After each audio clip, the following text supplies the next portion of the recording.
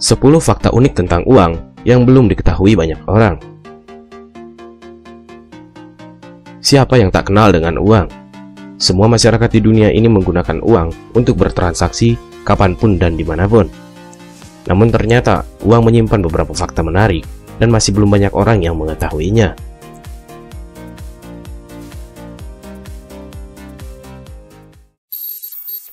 Tiga fungsi utama uang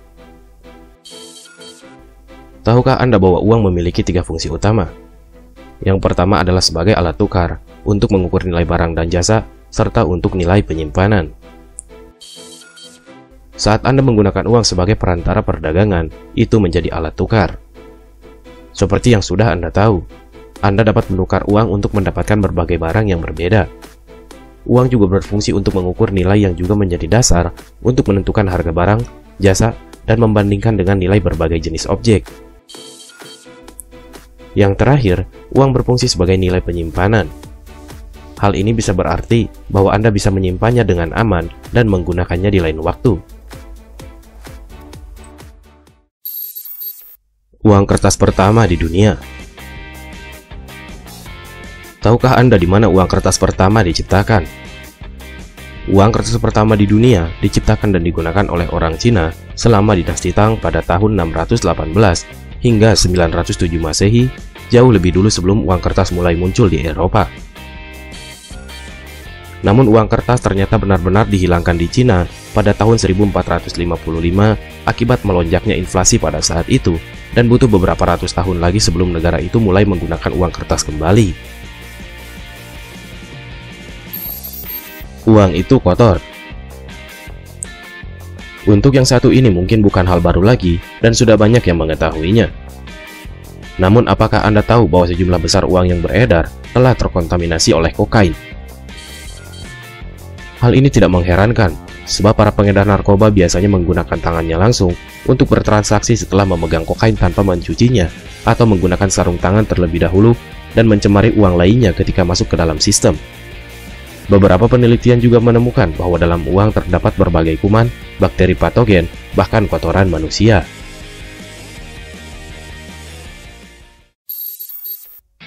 Uang kini tak lagi didukung oleh sesuatu yang nyata.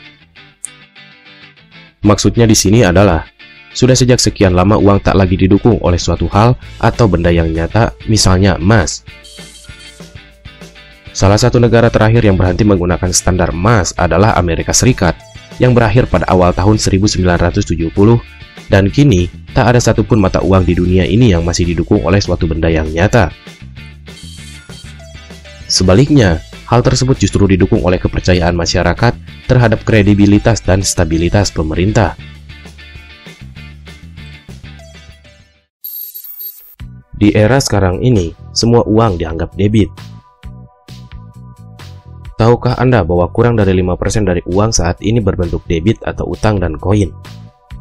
Contohnya, mungkin sekarang Anda memiliki beberapa lembar uang di saku atau dompet Anda, namun bisa dipastikan bahwa uang yang Anda miliki lebih banyak tersimpan di bank daripada Anda pegang tunai. Hal tersebut karena menyimpan uang di rekening bank lebih aman, namun secara tidak langsung, uang Anda tersebut berhenti menjadi uang Anda karena itu sama halnya Anda memberikan pinjaman pada bank yang berjanji akan mengembalikan uang itu kepada Anda. Sementara itu, bank dapat menggunakan uang Anda untuk hal apa pun yang mereka inginkan. Bank biasanya meminjamkan uang untuk bisnis, individu, bank lain, bahkan negara lain. Pada dasarnya, seluruh ekonomi dunia sekarang bekerja pada sistem kredit yang diberikan oleh bank dan jika sistem itu terpecah atau terganggu, maka akan memberikan dampak negatif dan membuat banyak orang menderita.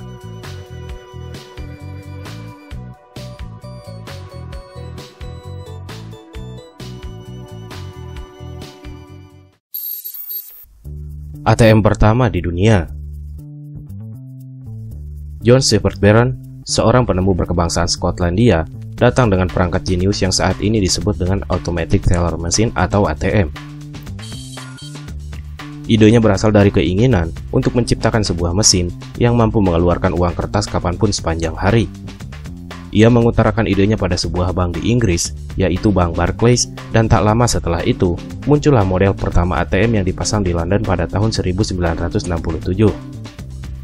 Salah satu perbedaan ATM pertama di dunia dengan ATM masa kini adalah ATM pertama di dunia tersebut tidak membebankan biaya apa pun untuk transaksi atau penarikan apa pun.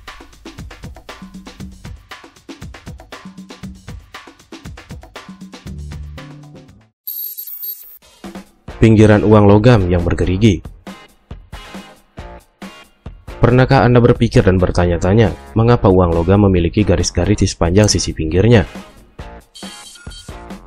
Jawabannya adalah, pada abad ke-18 ketika sebagian besar uang logam diproduksi dari logam mulia seperti perak dan emas, para penjahat mulai mengambil beberapa cuilan kecil di sekitar koin tersebut dengan tangan mereka dan menjual logam mulia tersebut.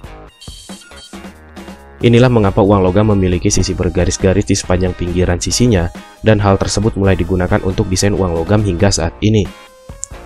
Meskipun saat ini tak ada lagi uang logam yang dibuat dengan menggunakan logam mulia, tapi sisi bergaris-garis di pinggiran uang logam masih digunakan karena sangat berguna bagi penyandang tunanetra.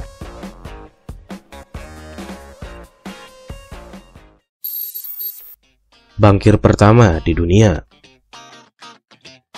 Beberapa contoh awal dari perbankan modern mulai ditemui di London pada abad ke-17. Selama periode itu, pedagang yang kaya akan menyimpan emas mereka pada tukang emas dari London.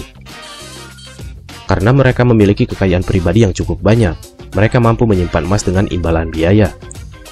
Para tukang emas pun mengeluarkan tanda terima yang bersertifikat kualitas dan kuantitas emas yang akan disimpan oleh pedagang, dan hanya orang yang menyimpannya yang bisa mengambilnya. Sejak saat itu, para tukang emas mulai meminjamkan uang kepada pihak yang berkepentingan atas nama depositor dan merupakan praktek perbankan modern pertama yang dijalankan hingga akhirnya berkembang seperti sekarang ini. Bentuk uang pada masa lalu Pada era kekinian, kita sudah terbiasa dengan kartu kredit dan uang tunai untuk bertransaksi setiap harinya namun pernahkah kita berpikir tentang benda-benda yang berfungsi sama seperti uang pada masa lalu sebelum uang diciptakan? Pada zaman dahulu, benda-benda seperti kerang, kulit rusa, tembakau, dan garam adalah alat tukar sebagaimana uang pada saat ini. Kerang digunakan dan dianggap sebagai perhiasan. Kulit rusa digunakan sebagai baju dan penghangat tubuh. Sedangkan benda lain dianggap sebagai benda berharga pada suatu kaum yang tempat tinggalnya tidak terdapat benda itu. Misalnya, Orang yang tinggal di daratan yang melimpah akan umbi akan menukar umbi mereka dengan garam pada orang yang tinggal di pesisir pantai dan begitu pun sebaliknya.